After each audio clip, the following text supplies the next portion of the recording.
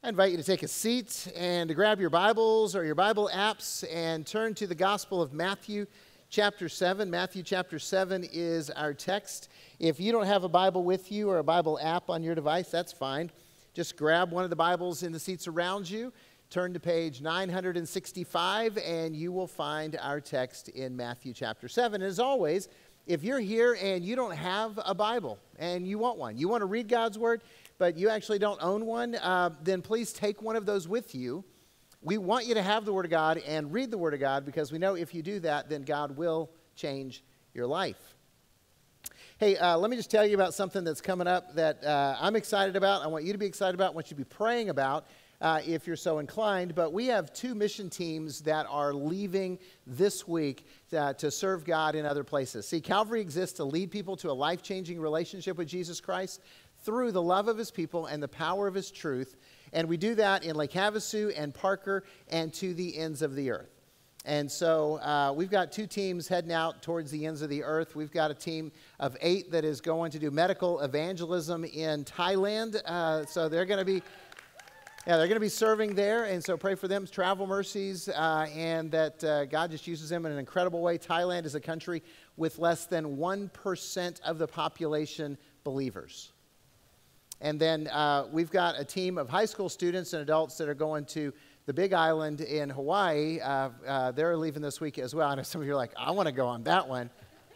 Yeah, they're going to be working with a church plant, doing evangelism through Vacation Bible School and work projects. Uh, they're sleeping on the floor of a church, so if you want to go, yeah, that, that's not as, as cool as you think it is. It's still Hawaii, but you know, it's not, uh, it's not resort Hawaii. So anyway, be praying for them, and uh, you know we've got other trips coming up, and if that's something you're interested in doing, let us know.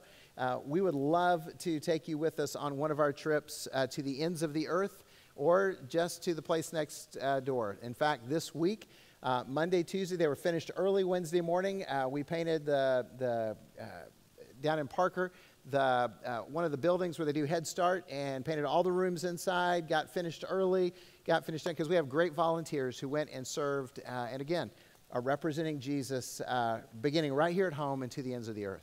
So I praise God for a church that serves. Yeah. It is awesome. Hey, uh, today we're continuing our discussion of prayer. And uh, we are jumping ahead a couple of passages. Uh, if you've been following really closely, you're like, we're not in Matthew 7, we're in Matthew 6. What are you doing skipping around? But uh, we want to wrap up this conversation of prayer, and Jesus kind of talks about uh, prayer in Matthew 7. We want to tie that with the model prayer. A couple weeks ago, we talked about the principles of prayer. Uh, talked about how prayer is to be private. It's about you and God face to face in that conversation. It doesn't do any good to repeat things over and over and over again. And it's not some magical words that you utter, and it's not to be done so that other people think you're holy and spiritual. Last week, Pastor Joe talked about the Lord's Prayer. Jesus gave a, a kind of an example prayer, and then Joe gave us an example of what uh, your prayer time could look like if you're having a quiet time praying through Scripture. And if you didn't see that, I encourage you to go online and check it out at calvarylhc.com. Uh, and then this evening and this weekend, we're finishing up our discussion on prayer. And, and we hope that our prayer challenges and conversations and examples have impacted your life and will continue to do so. Uh, because if you're a follower of Jesus, we want you to pray and we want you to understand what Jesus taught about prayer. So, if you had one wish, Let's just say you're cleaning out your garage finally, or your closets finally, right? And you happen to come across a box, you don't know what's in, you open it up, and it's got some kind of Tupperware that hasn't been opened in forever. Because I know none of you have a lamp with oil in it, okay? So, and you pop that Tupperware and a genie pops out. It's, you know, 2019. He says, You don't get three wishes. We're on the economic plan. You get one. You got one wish. Can't wish for more wishes. What's your one wish for? It's got to pertain to you, not like world peace or something like that. So uh, it's got to pertain to you. So what's that one wish that you would make? Uh, got it? Tell your neighbor. What's the one wish? What would you wish for? See, some of you are, uh, are, like, I don't know. Then you got, so you got dinner conversation or lunch conversation with your friends. What's the one wish? You see, there's tension in our culture between people who uh, hesitate to ask for anything at all, you know who you are. You're the people who are like, everybody goes, hey, let me know if I can help. And even if you need help, you're not going to ask. You're hesitant to ask for anything. And then on the other side, there's, you know, people who feel entitled to never stop asking. And uh, see, this impacts our understanding of prayer. So uh, I want to specifically address those who are followers of Jesus. So if you're here and you believe that Jesus actually is the Son of God and Savior of the world, and you believe that He died on the cross to pay for sins, and you believe that He was raised from the dead, and you've made a commitment personally to follow Jesus, then what Jesus says specifically pertains to you. Now, if you're not yet a follower of Jesus, you want to listen in on His wisdom, you want to listen to what He's saying, uh, because if you become a follower, we want you to understand prayer. But uh, uh, His words are truth, and they're going to bless anybody who is listening. So, Matthew chapter 7, verses 7 through 11 is what we're looking at. Jesus says, Ask, and it will be given to you. Seek, and you will find. Knock, and it will be opened to you. For everyone who asks receives, and the one who seeks finds, and to the one who knocks it will be opened. Or which one of you, if his son asks him for bread, will give him a stone? Or if he asks for a fish, will give him a serpent? If you then, who are evil, know how to give good gifts to your children, how much more will your Father who is in heaven give good things to those who ask him? Uh, I want you to know first and foremost that God invites us to ask. God invites us to ask. I mean, that's what Jesus is telling us. Hey, ask and it will be given to you. Uh, you know, God will give to those that, uh, his children, if you will, that, that, he wants to bless, he wants to, to give good things to, if they ask him. And that means for some of us in this room, you need to get over your pride and make some requests of God. You've grown up in the super holy uh, school of thought that says, I can never ask for myself because then I'm just being selfish. And so you only pray for other people. You only pray for God to bless other people. And you never make uh, a request of God. And you need to go ahead and understand it's okay to ask. God invites you to ask. There are some of you that need to get over a bad theology of God, that God somehow is mean and nasty and doesn't like you. And so you better never you know, make him mad by coming and asking for something. And there are some of you who right now are inside going, woohoo, I'm going to make a list. If any of those are your kind of default way of thinking or things you've heard, then we need to understand the promise.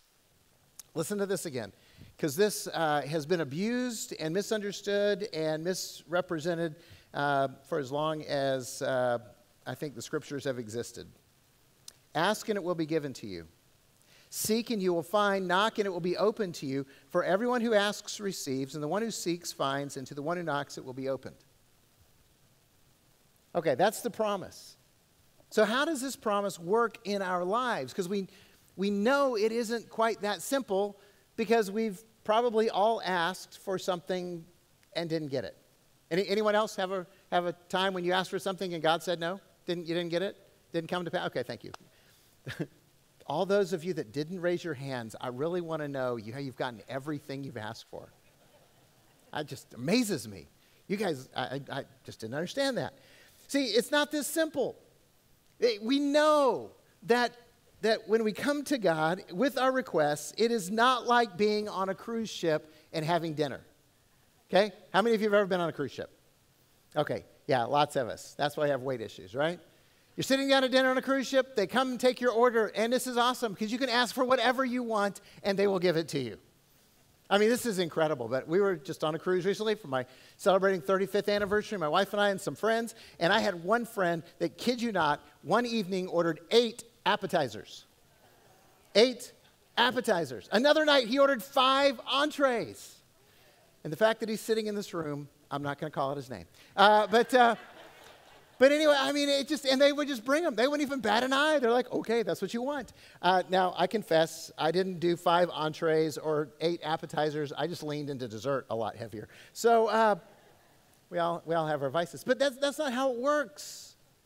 That's not what Jesus is saying. He's not a waiter just taking your order to get you what you want.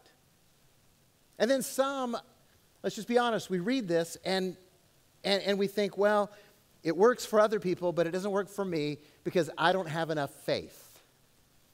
There, there are some of our sister churches that pretty much say that God will give you whatever you want if you have enough faith. And, and that's poor teaching because that also is not what Jesus is saying. He's not saying, hey, if you don't get what you want, it's on you. It's your fault, and, and you're broken, and you're defective, and you just need to, to pray more, and read your Bible more, and believe more. Um, that's not what Jesus is saying. So, how do we understand this promise? God invites us to ask, to seek, and to knock because when we ask God, we begin a conversation with God. When we ask Him, it, it, it, starts a conversation with Him. Again, eh, prayer isn't about saying the right words and you know doing some kind of magic incantation and getting what you want. it is a relational thing where you're coming into the presence of God Almighty and you're making a request. And if you make a request, you're having a conversation, and that means it's a two-way discussion. So maybe you pray something like this God, I need or I want a million dollars. Pretty sure I'm not the only one who's ever prayed that, or whatever number you've prayed for, I don't know. And then God can respond, Really? Why do you need it? Why do you need it? Well, because I want to buy stuff and indulge myself. Right, God? I mean, come on. You said ask and I can have it, right? So I want it so I can, you know, yeah, I'm going to I'm going to give a bunch to the church. I can't tell you how many people have told me if I win the lottery, I'm going to I'm going to build the building. And I go, "And what else? Because if you win the lottery, you got a lot more money than that." See, we, we promise, oh, I'll do all this kind of stuff. Well, I want to buy stuff. I want to indulge. I want to take care of my family. And God responds, uh, Haven't I been providing for you? Don't, don't you have enough? And then we say back, but God, I want to quit my job and I want to play video games or, or travel or just golf all the time. And God can respond, but I made you for a purpose. And that's where you'll find your joy. That's where you'll find your meaning in life. That's, that's where you'll find satisfaction and contentment. You see, when we ask God, it begins a conversation. And, and if we continue the conversation, then God will change our minds and our hearts and our desires, and our requests will become different because if we talk with God enough, eventually we will understand God better and we will start wanting what God wants. And we'll start asking for the things that align with God's purpose and God's will. If we talk with God enough, we'll want what He wants. And God will give us what we ask, and we will seek when we find, or find when we seek, and doors will be open to us that we never even dreamed possible. But it begins if we dare to ask, and, and understand this if we ask, and it's not some kind of magic formula or where we get whatever we want, then we have to discuss the problem. The problem. The problem is we ask, and God says no sometimes. We already established that. We already said how many of you did God say no to, and a lot of you raised your hands, and a lot of you didn't. Either you didn't ask, or, or um, just are still waiting. you still have hope. God's going to give me what I want. Yeah, we see. There's a problem, and and the apostle James, who was the half brother of Jesus, by the way, uh, wrote this in in James chapter four. He says, "You do not have because you do not ask." and you ask and you don't receive because you ask with wrong motives that you may spend it on your pleasures, on yourself, on what you want. So there's two reasons that James tells us why God says no. The first one is pride. You don't have because you don't ask. Look, all of us, all of us struggle with pride at some point. And sometimes we think, I don't need help from anybody, even God. I can do this on my own, and I'm going to be take care of myself, and I'm going to be the one who, who looks after myself, and I've got this. I'm not going to ask God for anything. By the way, doesn't work if you're a follower of Jesus because if you're a follower of Jesus, you've already asked God to forgive you and to save you because you couldn't do that yourself. That's why pride gets in the way of a lot of people following Jesus because they're like, nope, I'm not going to rely on him. I got to do it myself. And if you're relying on yourself, then you're going to go to hell. And if you rely on yourself, you're not going to ask God. So James says you don't have because you don't ask. The other problem is greed. we ask with wrong motives that we can spend it on our pleasures. I want to spend it on me. I want to indulge myself. I want to take care of my wants and my wishes and my needs. Yeah, I'll bless some other people along the way, but really it's about me. Can I just tell you that God is never going to indulge your selfishness? He just isn't going to do it because it's not going to bless you, and, and, and, God's not going to bless your selfish desires. And, and we know this because we read this whole passage together, and we know this because of the parenting principle. See, the promise is in verse 7 and 8, 7 and 8 but the, the principle of how God uh, interprets this or unfolds this is found in 9 through 11. Listen to Jesus again. Which one of you, if his son asks him for bread, will give him a stone? Any of you real jerk dads out there that your, your kid's hungry and he's like, Can I have a piece of bread? And you give him a rock? Anybody ever done that? I'm hungry. Here, have a rock. Chew on it.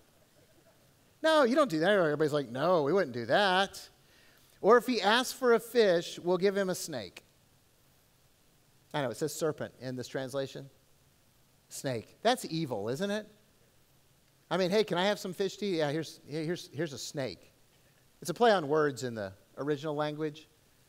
We just look at it and go, ooh. And then Jesus says, if you then, who, who are evil, know how to give good gifts to your children, how much more will your Father who is in heaven give good things to those who ask him? See, God teaches us how he relates to us through the example of parents. I, I, want you to understand. We understand how we relate to God because God is telling us, hey, I relate to you in the same way that you as parents relate to kids. So, how many of you in this room are parents? Okay, most of the hands go up. Some of you are not yet, so you can listen in. So, how many of you parents love your children and your grandchildren? Okay, I think everybody who raised their hand saying they were parents raised their hand saying they love their kids. Didn't ask you if you liked them, said you, how many of you love them. How many of you enjoy blessing your kids and your grandkids? Yeah, we do, don't we? How many of you are sinners? Yeah. So that, that's what Jesus called evil. He said, if you're evil, you're sinners, you're people who have naturally rebelled against God, you break the law, you're lawbreakers. Uh, if you, who are evil, know how to do good things for your kids, know how to love your kids, know how to bless your kids, how much better is God than that? How much better is God than that? Because He's perfect, He's holy, He's righteous, He's good. In our imperfection and weakness, we still desire to bless our kids, yet God is perfect, He's good, and He's our Father. We're no longer slaves to fear. Why? Because we're a child of God. If you're a follower of Jesus Christ, then God is your Father. And as your Father, God wants to bless you. God wants to bless you. He's not angry at you. He doesn't want to condemn you. He, he's, you know, he's not watching you, hoping that you're going to fail or rebel so he can just zap you. He's God. If he wants to zap you, he doesn't need a reason. Okay? He's already got a reason. We're, we're already, we're, look, as sinners, we all deserve hell. But because of grace, because of Jesus' sacrifice on the cross, because he loved us and, and gave himself up for us, we've been adopted as sons and daughters of God. We get life. God wants to bless us. He wants to see us succeed. He wants to help us. He, he wants to, you know, absolutely pour out the, the best on life for us. So he wants you to be successful. He wants to fill you with love and joy and peace and patience and kindness and goodness and faithfulness and gentleness and self control. I know that because it's the fruit of the Holy Spirit. The Holy Spirit's in you. God wants to fill your life with those things. That's, that's what He's trying to do. That's how He's trying to lead you and bless you. So God wants to bless you. Do you believe this? Okay, not rhetorical this time. God wants to bless you. Do you believe this? Okay, now see, it's really easy to say that. but I'm going to I'm going to test it right here and right now. Then, if you believe that God wants to bless you, then I also want you to believe that God knows how to bless you better than you do. God knows how to bless you better than you know how to bless you. And the struggle is this we think we know better than God. Every one of us in this room has enough pride in our souls that we think we know better how God should bless us than God Himself knows. In the same way that every one of us as teenagers thought we knew better how to bless us than our parents did. Right? Any teenagers in the room want to say amen to that one? They're like, see? Still true. And why are we surprised as parents when our kids think exactly the same way that we did when we were their age? And so we, we think we know better than God, so we ask for the wrong stuff and for all the wrong reasons. I mean, we tell ourselves it's for the right reasons. I want to win the lottery so I can take care of my family and my church and I can do all this kind of stuff. God, just go ahead and do give it to me. And I, you know, I'm not going to like let it ruin my life. And God's like, yeah, right. Yeah, right. And maybe that's partially true. Maybe you really are able to handle an incredibly large sum of money and, and it wouldn't ruin your faith and it wouldn't ruin your life. Uh, but what about your kids? What would it do to your kids? What about your grandkids? What would it do to them? You, can, you say for certain that it wouldn't destroy their faith or their work ethic or, or, or that they'd end up, you know, just like forgetting about purpose? Are you sure that it wouldn't have a negative effect down the, down the line. No, you're not. And so God says no, and what do we do? A lot of times we throw temper tantrums. Right? I know. Those of us who are mature, when God says no to what we really want, what we're really pouring our hearts out for, what do we do? We just kind of pout quietly. Right? Hang our head. God said no. All right. He knows better than I do. I'll trust him. But we're not happy about it, are we? But some of us, sometimes all of us, right? When God says no, we just flat out throw a temper tantrum. How many of you have ever had one of your children when they were little melt down in a public place? We're talking about full on temper tantrum, kicking, screaming, crying on the floor. Yeah. Some of the young parents are like, today. it happened today. Well, you know, it's very fresh. I've got you know, some issues with that. See, how many of you, and, and, and this is, uh, we'll, we'll do the confession on the positive side. How many of you, when your kids do the temper tantrum, did not cave and give them what they wanted? Good job, parents. Good job. I remember watching uh, one of our girls in the grocery store start to do that and went, Don't care, we're going shopping. Pushed the cart away. Ended really quick. Really quick. It just, it, just, it happens. Can, can I just tell you that, you know, as if parenting counsel, don't cave in that moment of temper tantrum because that's not going to bless the child or you. And when we throw a temper tantrum because God doesn't give us what we want, what we ask for, what we think is going to bless us, because, you know, He knows better how to bless us than we do, that, that's not going to really win God over in that moment. That's not going to convince him that suddenly he should, you know, relent and give you what you want or think you want. And so what do we do? God says no, we rebel, we defy, we pursue what we think is going to bless us. Okay, God's not going to give it to me. I'm going to get it myself. And then we discover that it leads to destruction and we wonder why our life is a mess. You know, a lot of you are here tonight because God redeemed your life when it was a mess. And some of you are here tonight because you want God to redeem your life from being a mess. And He will, if you'll trust Him. If you'll trust Him that He knows better how to bless you than you know, or than you think you know. And see, this is an invitation from Jesus to trust Him to bless you. Let me say that again. Jesus is inviting us, his followers, to trust him to bless us, to lead us, to seek His ways, to go through the doors that He opens, to ask for the blessings that He wants to give us because He knows better how to give. And this is a faith battle that will turn your life upside down if you learn how to trust God at that point of asking and taking His answer and understanding that His answer is better than your answer. To not only believe in God, but to believe that God's ways are better than your ways, that God's blessings are superior in every way to our desires. So, do you believe this? that God really knows how to bless you better than you know. See, that's where it gets tough.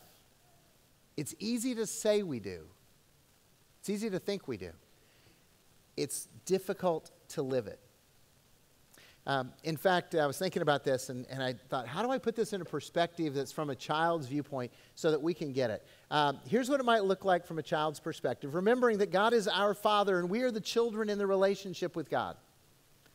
God's our father, we're the kids, and, and so let's put this in a, in a child's perspective. This is what it's like, I think, from God's perspective. Let's just say that uh, as a parent, you take your kids to that standby great pizza place, right? Chuck E. Cheese. Anybody ever been to Chuck E. Cheese or some wanting Im- imitation? Yeah.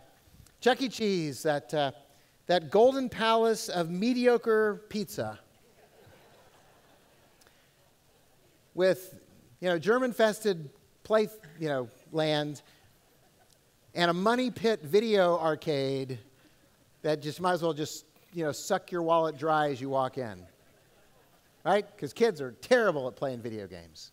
They just need more money all the time. Right? Chuck E. Cheese. But if you're a little kid, Chuck E. Cheese is amazing. Right? I mean, kids love Chuck E. Cheese. I want to go Chuck E. Cheese. Chuck E. Cheese is awesome. Let's go. Chuck E. Cheese is fun. And, and if you take your kid to Chuck E. Cheese, they're like, every, where do you want to go? Chuck E. Cheese. Oh, rats. Okay, I ask you, so we got to go. Chuck E. Cheese. They want to go Chuck E. Cheese. And you decide as a parent, hey, it's time to upgrade from Chuck E. Cheese. Let's take a trip to Disneyland. Yeah. See, you guys are like going, yeah. Now we like we like that. But here's the thing: your child's never seen Disneyland. Your child doesn't even know what Disneyland is, and and and uh, so you can say, hey, we're, gonna, we're not going to go to Chuck E. Cheese. I want to go to Chuck E. Cheese. No, we're going to go someplace better. There's no place better than Chuck E. Cheese. right? Because they don't know. I mean, they're young, and young and stupid goes together. Old and stupid is just pathetic. So, uh, it's kind of what Proverbs teaches. So, and so you, we go, no, we're not going to go to Chuck E. Cheese. We're going to go to Disneyland. And the child throws a fit. They just have a, a cry fit, temper tantrum, all the way five hours driving over to Anaheim, right? But you're persistent because you know, you're their parent, you know better. And you get to Disneyland, and suddenly the child sees the wonder of the magic kingdom, right? And Chuck E. Cheese is a distant memory. Now you've upped the perspective, you've changed the perspective, and now they understand you know better when it comes to entertainment than they do. See, we're God's children. And some of us think Chuck E. Cheese is awesome. Actually, some of us think McDonald's or the Playland is awesome. A few of us think Circle K with their two hot dogs for 99 cents is incredible. and we're living there. We're camped out there, and God wants to lead us to Disneyland, and we're resisting. We're saying, No, I know better than you, God. I don't want to go. I don't want to follow. I don't want to listen to what you have to say. We want to do it our way. But see, He's not going to force you to go. He loves you. He wants you to trust Him. He wants you to believe in Him. He wants you to follow Him. But He's not going to throw you in the car regardless of your screaming and drag you there. And some of us are spiritually stuck at Chuck E. Cheese because we're just not trusting God to bless us. You're not trusting God to bless you, so you won't follow Jesus to life. And, and, and, the thing is, God wants to give us so much more. He has better blessings in store for us than we could ever ask for or imagine. And the only way we get there is if we trust Him and we embrace His plan over our desires. And Jesus taught us to pray. We looked at this last week. Thy kingdom come, thy will be done on earth as it is in heaven. And we say those words, but it's not about the words. It's about submitting our dreams and our desires and our wants and saying, God, I give them to you, and, and, I want you to change my desires. I want you to change my wants because your plans are better than my plans. Your blessings are better than my desires. And, and, and then it's amazing because you'll seek God's will and you'll find it, and He'll open doors that you never imagined, and you'll walk through those into His blessings if you trust Jesus to bless you because God knows how to bless better than you do. So today, are you going to ask God for his blessings instead of your desires? It's a conversation he wants to have with you. Because ultimately, Jesus wants you to, to teach you to pray like he prayed in the garden. Right? Because he asked, Father, if it's possible, let this cup pass from me. But he didn't stop there. Nevertheless, not my will, but your will be done. That's the prayer that leads us to victory. But you got to have the relationship, and you got to have the conversation to get to that place. Let's pray. Father, your grace is amazing. Your love for us is absolutely incredible that you are patient with us beyond compare. And you're inviting us to follow you into a blessing, uh, into a kingdom that is far better than anything that Walt ever imagined. And yet, we just confess we struggle to trust you we struggle to take your word and apply it to our lives. And so, God, I pray that right now your spirit would move in this room and you would show us where we're resisting your will, where we're resisting your blessings, where we're resisting your leadership. And we would repent and we would surrender and we would follow you to life. You're the only one who can give us life. You're the only one who can bless us the way you want. And God, um, we want to be your children. We don't want to live as slaves to fear anymore. We want to live as sons and daughters of God. Teach us how to do that. In Jesus' name we pray. Amen.